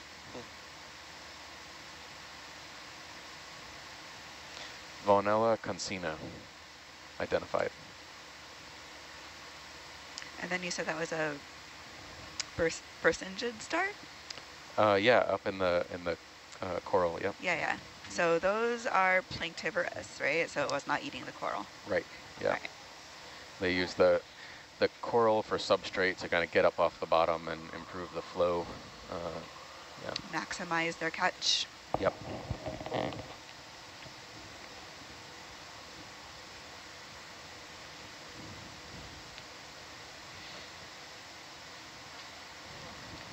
Nick, I don't think we're going to find any rocks up here. No, That's not pretty. We can stop if uh, Well, and there's some over there. crevice. Maybe. There's a little yeah. fracture that we Crevices just I spoke past, too soon. Yeah. This ridge was like, I'll show you. Yeah, I, I mean we have we can sample a lot of smaller rocks too. We have um, three or four box spaces open, Like a 10 centimeter-ish? like 10 to 15. Yeah. Okay. Science, was that interest in finding a rock here? Yeah, if we can uh, maybe look at this area over here. Well, our ship move is complete, so this is a great spot. Atalanta will move a little bit, but not too far.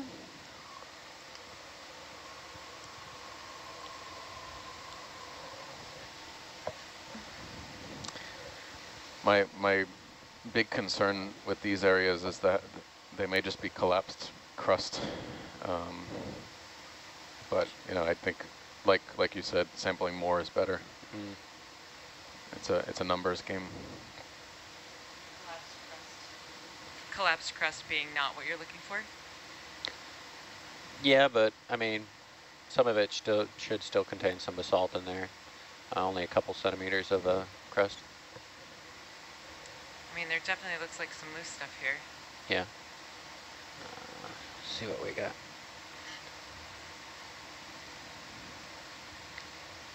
This may-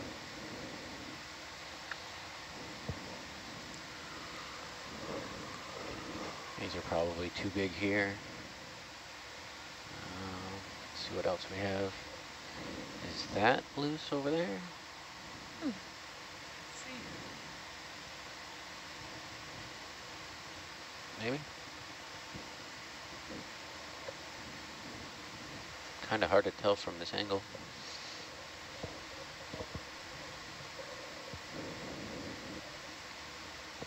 What about in Triclops cam? Not too much. Uh, There's just two rocks Try on the right. out. I mean, they, they look loose. Um, Yeah. yeah. Yeah, these, uh, these, these Actually- look loose, yeah, but they're big. This looks decent. I mean, we potentially could fit w- one more, maybe 15 to 20 centimeter in F, because, right, there's only, well, there's Yeah. the two rocks in there already. Okay, never mind. Yeah. We can also dig around a little bit, Maybe lift some that. rocks. There might be something underneath. Okay. And uh, we can pitch a plate after this too before we take off. Okay, sounds good. Alright, so maybe this one? Yeah. If we end up taking a small one, maybe we'll keep the plate. It's been flying much nicer, heavy. Oh, that's going to be attached, I think. Yeah. Same attached. Yeah, as soon as you Oh, zoom no, in. it's not. I don't think so. I saw it jiggle. Yeah. Yeah. Oh no, oh sorry. Get the arm in there, though. Pushing you around.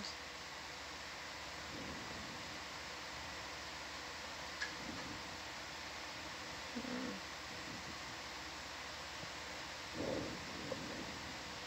You can zoom in a little bit. That's good.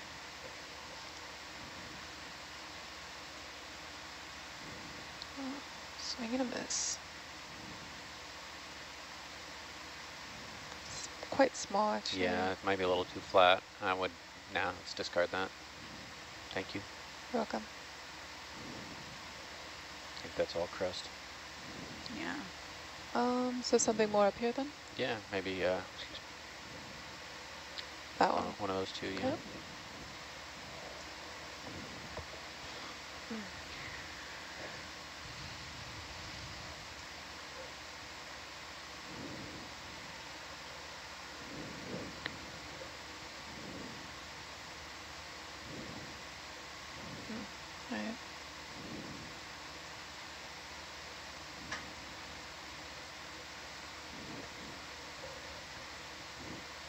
Can also pick up a couple of rocks. Um,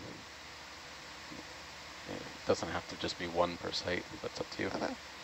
Go for the twofer. Yeah, why don't you just do two at once? Go wide, or a little bit wider? So Yeah, this there is you just one. Is this not big enough or? Uh, can you rotate it just a little bit, please?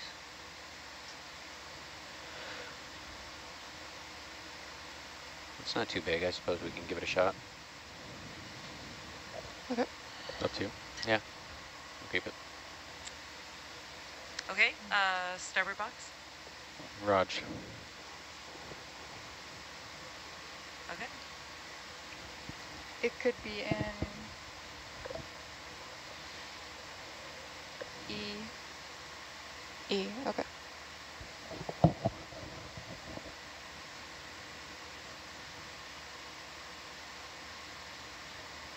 It's going in E.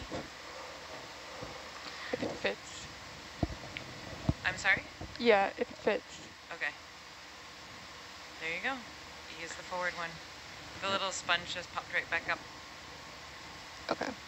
E is the forward one. This is 062, 061. 061. Thank you. Uh-oh. I have something else though, little 061? Uh-oh. Let's go find out what that is. Did you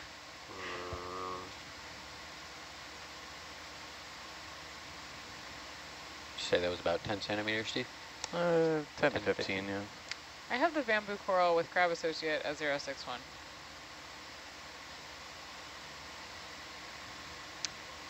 Uh, stand by on that. Oh, okay.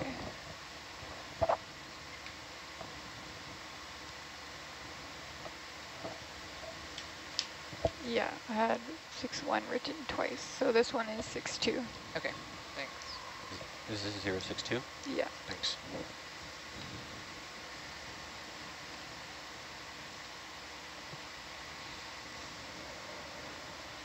Did you want to try for another one here? I think we're okay for right now. Drop weight. Uh, actually,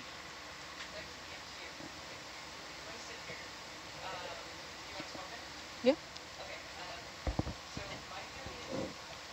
All right, so some of our viewers online are wondering about the vehicles that we're using. So they are remote, remotely operated vehicles, ROVs. The main one that we're using on this cruise is Hercules. So that's the one that is sampling and the main video feed that we are seeing online. Excuse me. Um, so in addition to Hercules, we also have Atalanta. If you take a look on the uh, channel two, you can see the Okay. above view of Hercules, and that is coming from ROV Atalanta. So uh, they work uh, in tandem. So Atalanta is kind of like the bird's eye view of Hercules so that we can be able to see what is surrounding the ROV and, you know, just get a better idea of the, uh, I guess, the spatial quality going on down there. So again, there is no I'll keep it person Yeah. that is inside of these ROVs down in the depths. If you're wondering how deep they are currently, uh, the depth reading for Hercules is 1,811 meters deep. Where you started off at the very bottom um, at about 2,900 meters. So we've been making our way up this seamount and we're very, very, very close to the top. But you can see it's still pretty, pretty deep. Uh, let's not go too far because I may want to look at some more things in this area before we take off. Rudder, we got a pilot swap happening in the front row, um, and then we'll be able to look around. Okay. They're also wondering if we have anything wary to be, anything that we need to be wary of while we're exploring down here. Uh, I think just mainly making sure that we're being mindful of the specimens or uh, the biology that we're seeing, you know, being uh, sensitive about the coral and the sponges and any other uh, life that we're exploring down here in the in the depths. Um, we are doing some sampling, but you know, trying to be conservative for the most part. Um, getting video footage when we can, getting still captures when we can. Yeah. Uh, just yeah, sampling just trying parts of so- specimens instead of taking the whole thing Yeah, when we can. I'll keep Atalanta pointed 140, um, as long as she's moving 140 and we're just But trying to go we up. have Gabby So if, and like, Karen direction that are the up changes, pilots of these we'll need to change ROVs, and so the they're doing going. their best to Before we take off, um, I'd like to zoom on a couple things if we We're can zooming. while we're here. When you're ready, front row.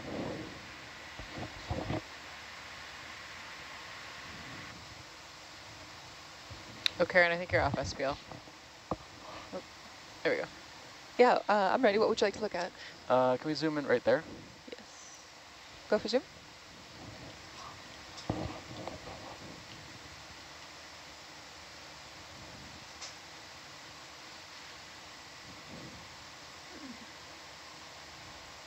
Okay, it's a brittle star. A brittle star on a colony of uh, something, probably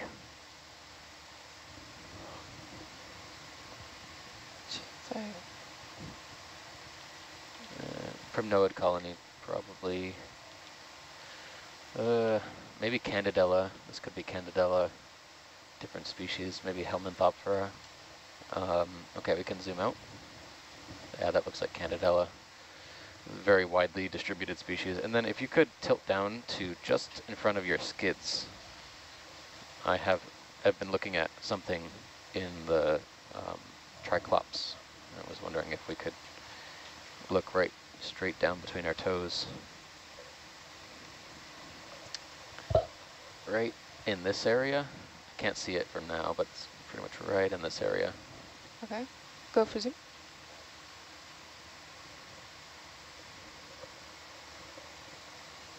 Um, Huh. trying to find it. Oh, I, I think it's, Oh, is yeah. it thin right in front to the right of the um, camera housing? Yeah, it's behind the camera housing. I think it's just, Oh, it's okay. just that close. No. Uh, that's all right. We'll skip it. Uh, okay. We can, I think we're done here. We can carry on. Okay. Rudder. I was noticing some um, gastropods, snails, um, Ah, grazing on some of these black corals. Uh, Okay, ROV, are we ready for a move? Yeah. One four zero. 140. Perfect. Bridge nav. 30 meters, 140.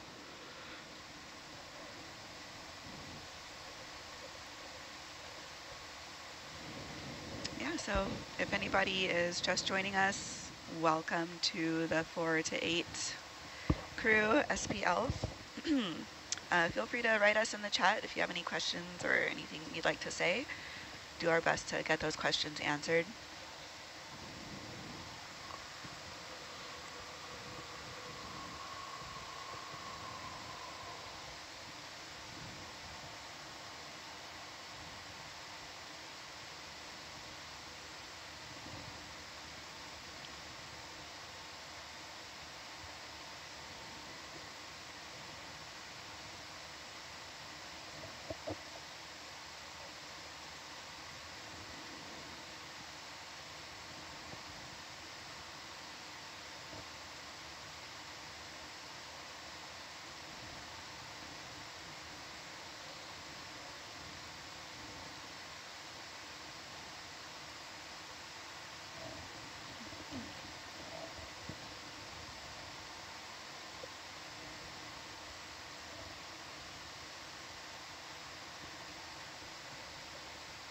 Squat lobster?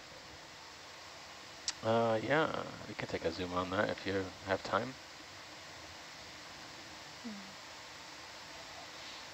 This is the... Go for zoom. um, In an umbrella, Uh-huh. right?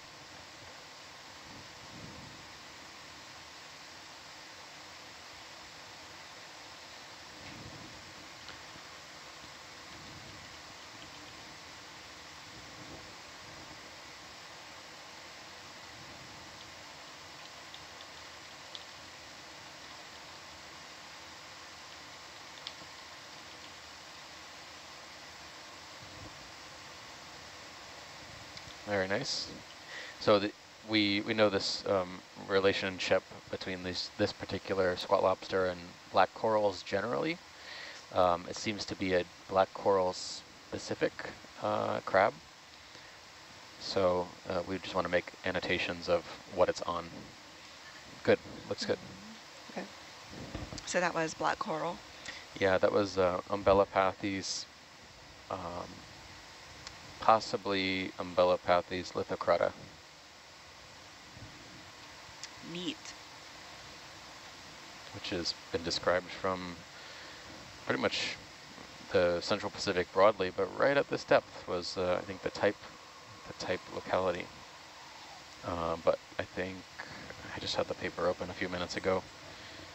Um, the holotype, oh, the holotype from Hutchinson Seamount, south of Johnston Atoll, Ooh, 1,500 meters.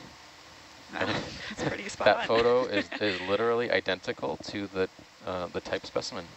Wow. So yeah, That's really litocrada, litocrada at 1,500 meters, uh, and collected with, should say the species.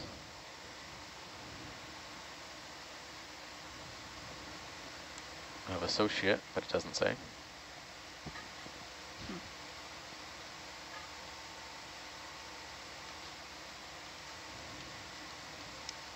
Some people are wondering about the um, perspective that the ROV pilots have. Are they seeing mostly what we see? Or are you seeing something special? Like, is there a way uh, for you to feel, I guess, what the ROVs are doing, or are you just kind of going based only on visuals? We have all of those nine cameras on Hercules. Um, but basically we see what everybody else sees. Um, even with the uh, manipulators, there's the capability to use force feedback. Um, but it tends to be more of a pain and less useful. Um, so yeah, you're seeing what we're seeing.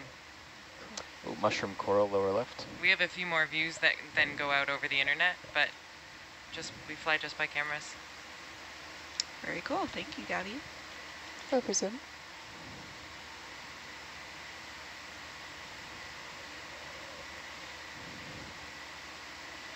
This is a mushroom coral, probably in the genus Anthomastus. Not not so common on these dives. We saw a lot more on yesterday's dive, but uh, yeah, good to document it. We're just grabbing a screen grab and the um, t in the triclops. Just give us a second if you can. Okay.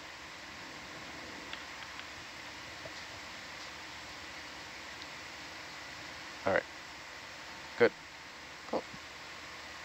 So we're finishing up a move. Um, anything here we want to stop for or continue on? Uh, continue on. I, um, I think we're continue on, yeah.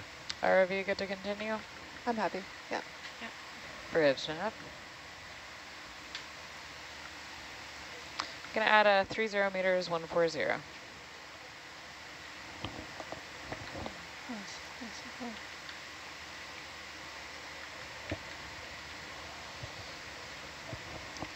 There's a question in the chat about um, the scientists or the leads of these uh, watches. So they're noticing as, you know, there's a 12 to 4 crew, the 4 to 8, and 8 to 12.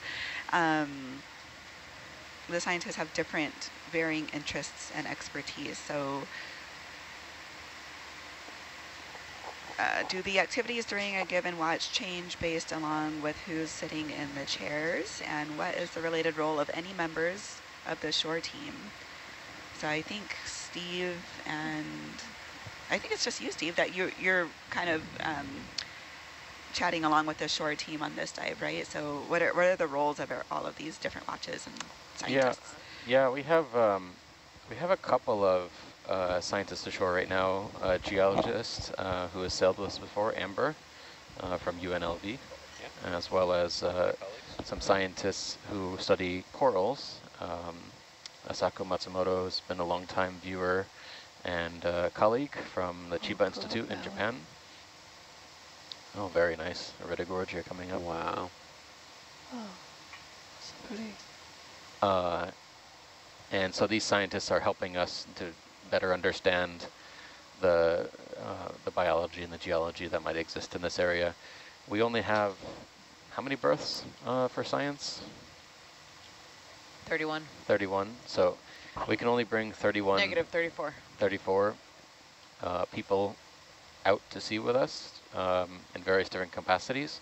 And so we really rely on our scientists ashore to provide that extra context. If we, you know, we can't fit a taxonomic expert for every single type of animal we might encounter and in every type of geology we might encounter. So we really rely on not only scientists ashore that participate in the chat, but also others that provide sampling input um, over the course of the season.